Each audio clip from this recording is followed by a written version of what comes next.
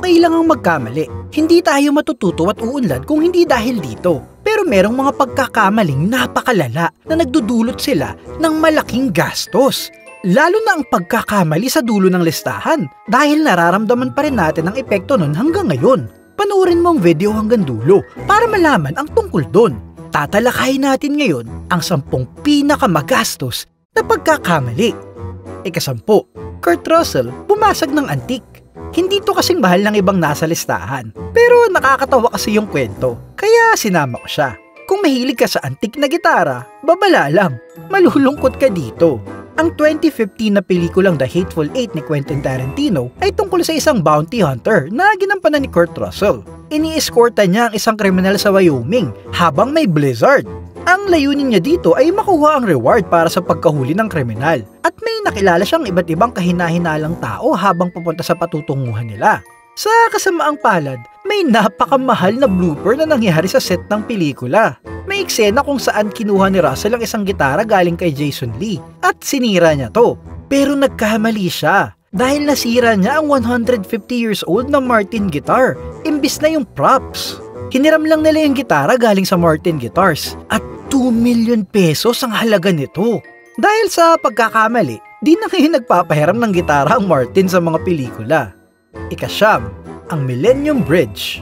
Bago binuksan sa publiko ang Millennium Bridge sa River Tyne sa London, pinagyayabang ng mga gumawa nito na ito raw ang pinakamaganda at pinakamahusay na gawa ng engineering.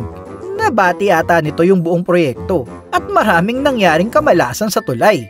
Binuksan yung Millennium Bridge noong year 2000 at simula pa lang, naramdaman na kagad ng unang mga taong tumawid dito na gumigewang yung tulay. Nangyayari to dahil sa mga yapak ng mga tao. Napakalala nito na natakot silang magigiba yung tulay at tinawag to ng mga Londoner na Wobbly Bridge. Pagkalipas ng dalawang araw, pinasara na to at dalawang taong na natiling sarado yung tulay habang ginagawa ng paraang maayos yung paggewang.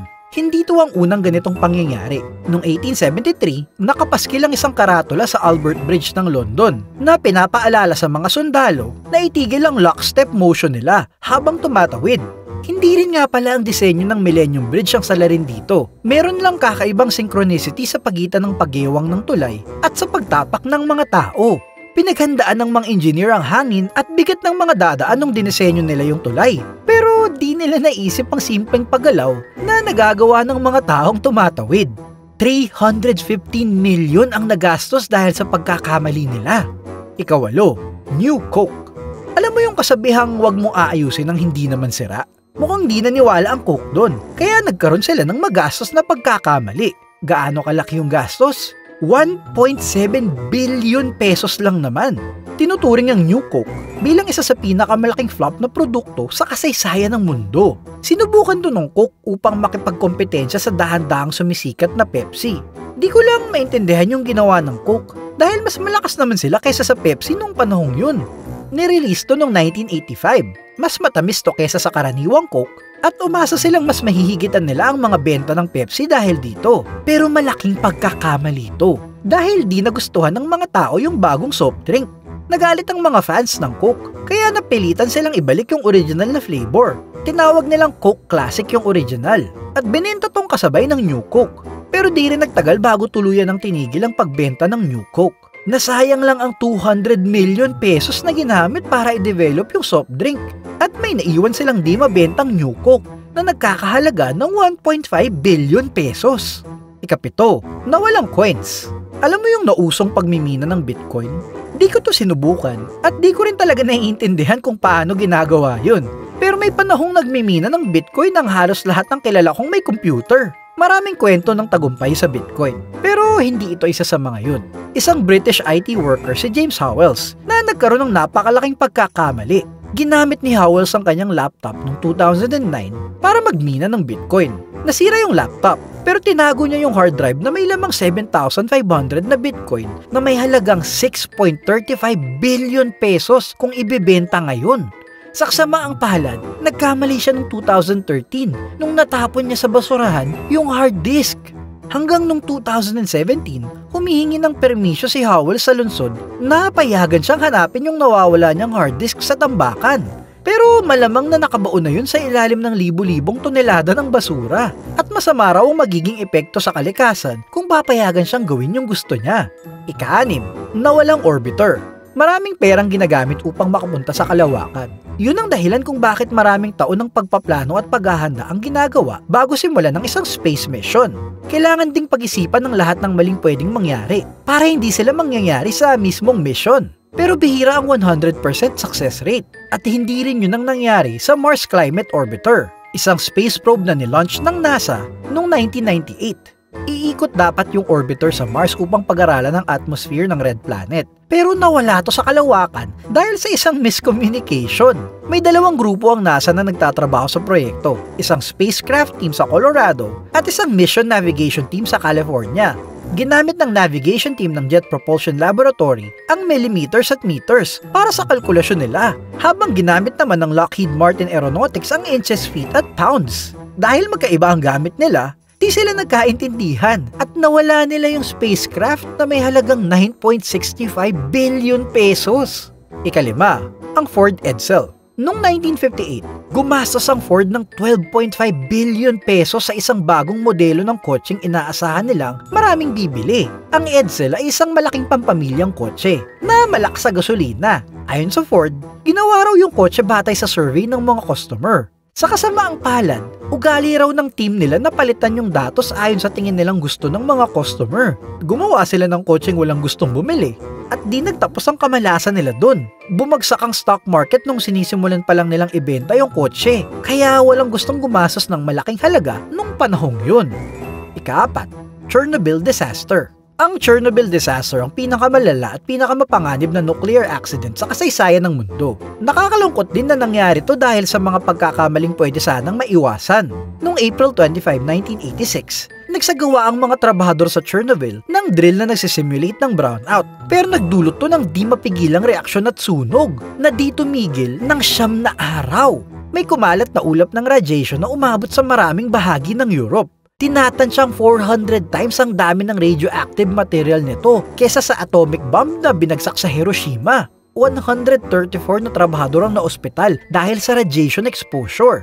31 sa kanila ang namatay sa loob ng ilang linggo at 14 sa kanila ang namatay pagkalipas ng ilang taon dahil sa cancer na dulot ng radiation.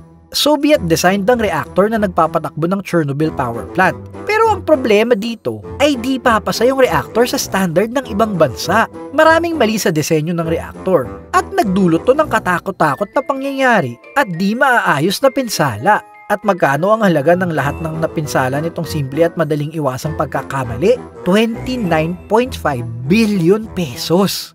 Ikatlo, nag-crash na B-2 stealth bomber seryoso ang United States pagdating sa national defense. Sobrang seryoso nila na malaking bahagi ng budget nila ang nakatuon para sa pagdevelop ng bagong teknolohiya para sa iba't ibang sangay ng armed forces at kasama doon ng mga sasakyang panggera. Kaya di nakakagulat nung gumastos sila ng mahigit 50 billion pesos para sa isang eroplano, ang B-2 stealth bomber, ang pinakamahal na eroplano ng Air Force noong 2008. 21 na bomber ang ginawa nung panahon na yun. At kahit na napakamahal nito, nag-crash pa rin to dahil sa simpleng pagkakamali. Nag-stall ang isang B-2 sa isang test flight sa Guam dahil sa sirang sensor. Nag-crash yung eroplano at nasayang lang ang 70 billion pesos. May nakapasok daw na tubig sa sensor dahil di naturo sa maintenance crew kung paano magtanggal ng moisture sa makina.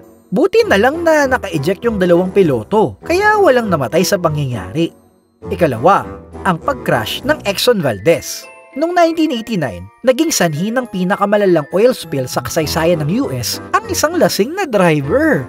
Nangyari ang Exxon Valdez oil spill nung naibangga ni Captain Joe Hazelwood yung oil tanker sa Prince William Sound. Pagkatapos ng pangyayari, kinasuhan si Hazelwood para sa negligent discharge of oil dahil lasing siya habang nagmamaneho ng tanker. Halos 42 million liters ng krudo ang natapon dahil sa aksidente at naapektuhan nito ang mahigit 2,000 kilometers ng Alaskan coast. Maraming namatay na hayop at natigil din ang industriya ng pangingisda sa lugar habang nililinis yung krudo. Binayaran ng Exxon ng pagpapalinis ng krudo at mga multang nakuha nila. Sa kalahatan, napagastos sila ng 220 billion pesos. At ang pinakamagastos na pagkakamali magastos na affairs. Nagulat ang mundo noong 2009 nang nabalitang maraming kabit ang golfer na si Tiger Woods. Nasira ang reputasyon niya at malaking halaga rin ang nawala sa bank account niya. 37.5 billion pesos ang binayad ni Woods sa kanyang ex-wife na si Ellen Nordegren sa settlement ng kanilang divorce. At hindi lang yun, bago lumabas ang mga detalye ng pangangaliwa niya, malaki ang kinikita ni Woods sa mga endorsement deal sa mga kumpanyang tulad ng Nike at Gatorade. Pero nawala rin lahat yun. Tinatansyang 600 billion pesos ang nawala kay Tiger Woods dahil sa ginawa niya. Siguro naman na pinagsisihan niya yun, di ba?